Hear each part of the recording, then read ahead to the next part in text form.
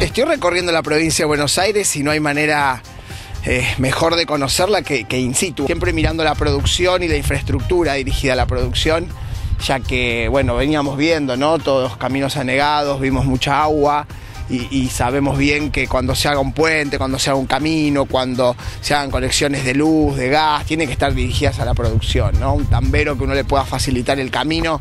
Creo que la provincia de Buenos Aires tiene algunas asignaturas pendientes en cuanto al desarrollo. Eh, ha crecido en estos últimos años, pero no ha logrado desarrollarse. Y, bueno, creo que la próxima etapa justamente es la del desarrollo, la de facilitarle, dejar de decir que todo lo tiene que dar el gobierno nacional y echarle la culpa a la nación.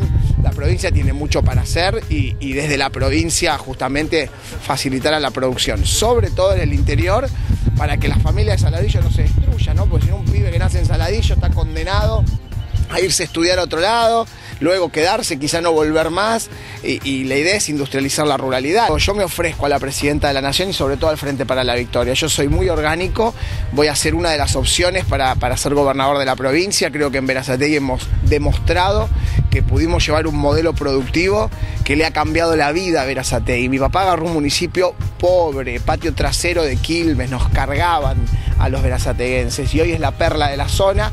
Eh, ha mostrado lo que se puede hacer en, en bueno, en, décadas, obviamente. Él lo arrancó en la década del 90, un revolucionario que municipalizaba los servicios cuando en el país se privatizaban y yo tuve mucha más suerte, ¿no? porque a mí me tocó gobernar en la época de Néstor Kirchner y de Cristina Kirchner, un país que crece y que crece y que ahora está pasando apenas un momento coyuntural como cualquier situación de un partido de fútbol donde después te acordás y no la pasaste bien un ratito, pero el campeonato lo venimos ganando y hay que seguir jugando de esta manera, así que yo soy un agradecido.